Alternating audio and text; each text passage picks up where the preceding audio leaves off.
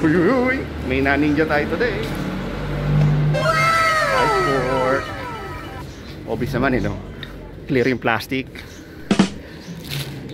Yan ah. Kita ba? Kita? Kita? Kita ba? Kita? Kita? Kita? Ay, hindi kita. Carbon yan. Carbon. Salamat nga pala kay Boss Dante ha. Boss Dante, thank you. Makakasahan ka talaga. Basta retro o classic na bike parts kay Boss Dante. Kakabit natin to sa ano, doon sa isang giant. Yung ginagamit ko parati. Yung unang-una kong bike. Bakit kamo? Wala lang. Upgrade, upgrade DTC. Uh, tingnan mo, ganda, ganda, ganda. Kaliskisan natin ang kaliskisan natin.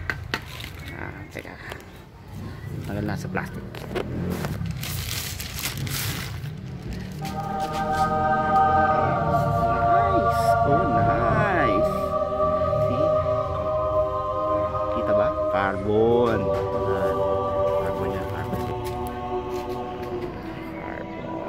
Carbon. Carbonium. Mhm. Yum, yum, yum.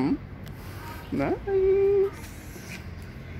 Teka, kabit natin doon sa taas, doon sa isang bike. Teka.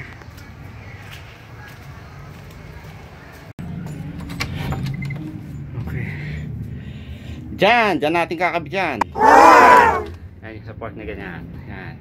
O nga pala, ito yung isang version ko ng bike hanger, bike repair stand. Gawa lang yan sa ah, sa ribbon, no? Oh, oh, Bolangerie. Oh. Marjorie, baka naman. Mm. Kaya ganyan lang yan, no? Tibay niyan. Ano lang yan? ah, pantali ng ng kahon ng cake. Pero tibay niyan. May, itong bike, nasa ano to, almost 13 kilos. Pero kaya-kaya, oh. Tibay. Tibay yan, tibay. Set up natin yung lugar.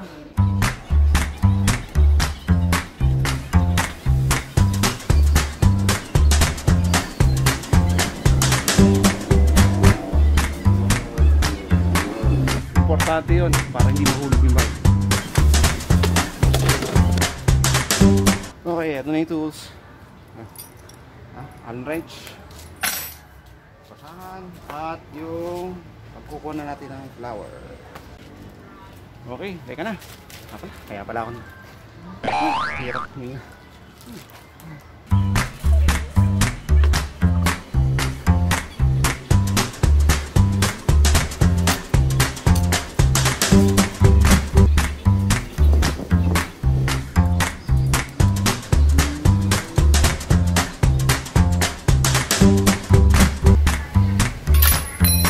Oops.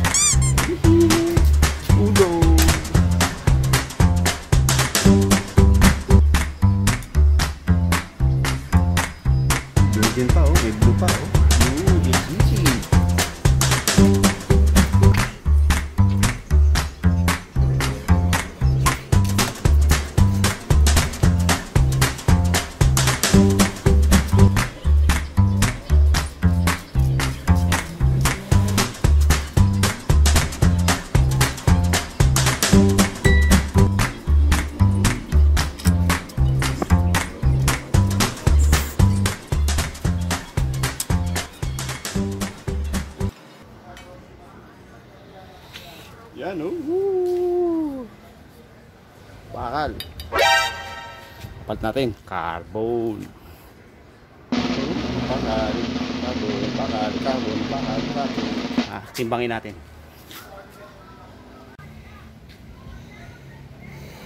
Ah, eto na. Salamat Lazada. Dahil sa'yo, upgrade ditis yan. Kilayan natin. On. Dati, dati, dati. Woohoo! 1.1 kilo. Ito, hindi pakat ang steerer.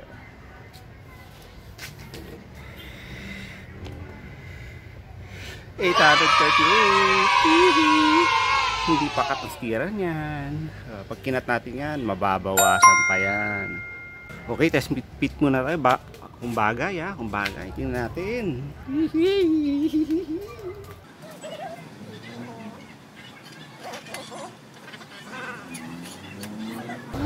Kapogi naman. Oh, kapogi. Okay, okay, okay.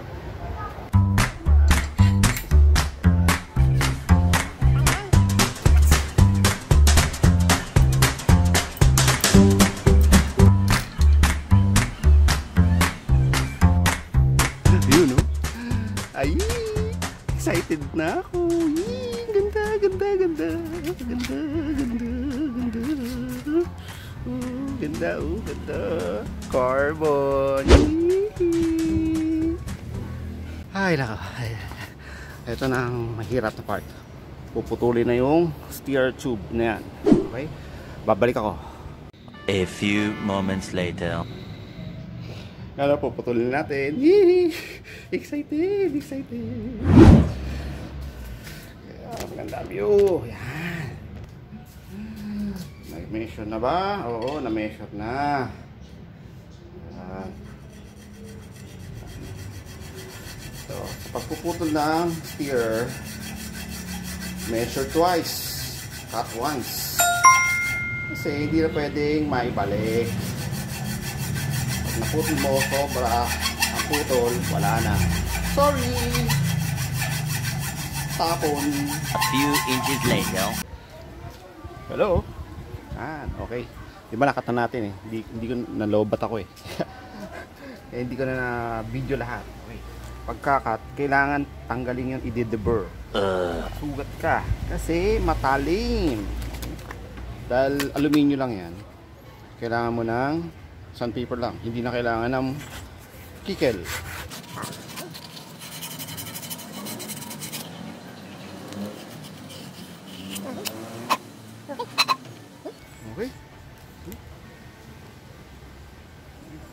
Linis na.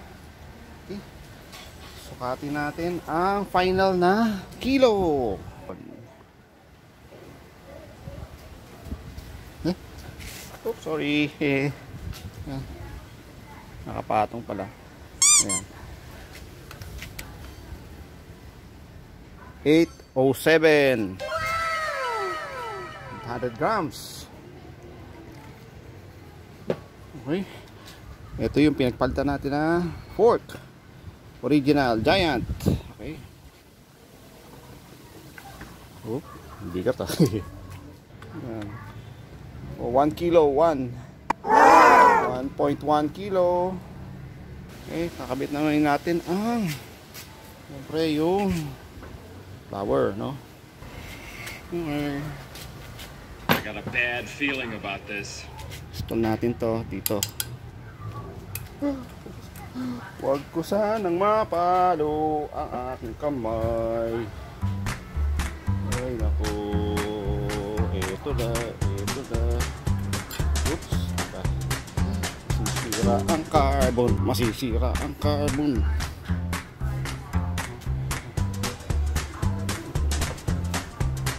Okay, one, two, three.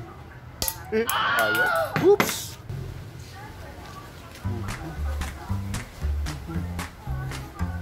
Natin.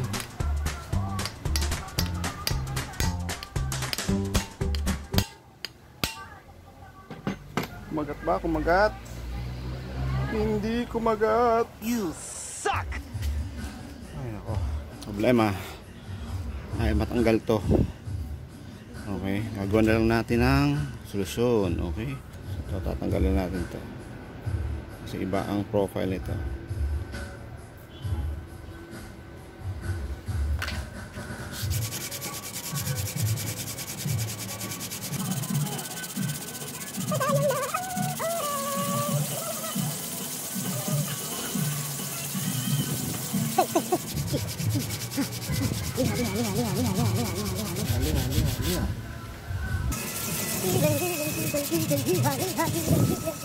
Wala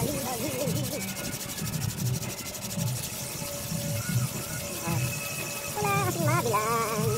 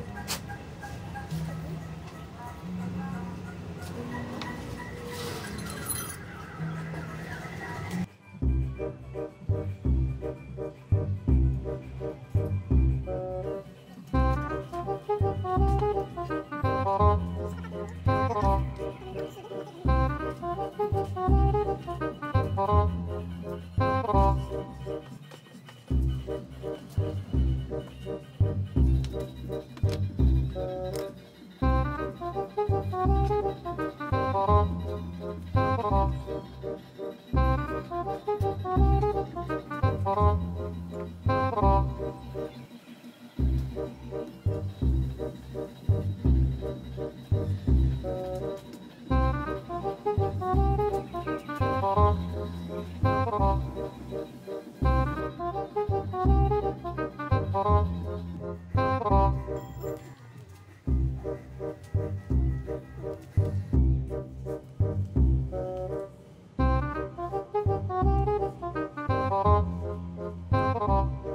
yan na, finish oh. Ah, pasensya na, hindi ko na pinakita kung paano ko binuo kasi ang dami kong naging problema dyan eh.